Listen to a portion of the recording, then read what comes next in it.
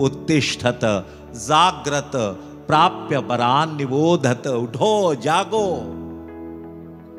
महापुरुष की प्राप्ति करके उसको जान लो। मानव शरीर इसीलिए मिला। स्वामी युगल शरण जी के अमृतमय वचनों से अपने जीवन को करें आलोकित। सुने, समझें और अनुभव करें आत्मज्ञान का प्रकाश। इस 9 नवंबर से 24 नवंबर तक, रोज शाम 6 से 8 बजे त्रिहुत एकेडमी मैदान, समस्तीपुर में। इस दिव्य अवसर को ना जाने दें। आइए और अपने जीवन में शांति और संतुलन का मार्ग खोजें।